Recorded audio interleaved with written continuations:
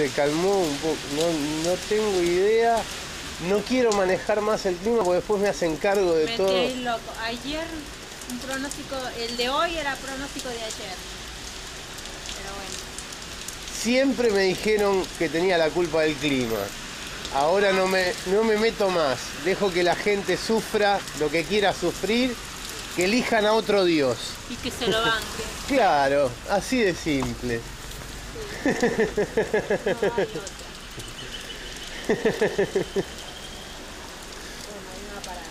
Nos vemos. No te choques con nada.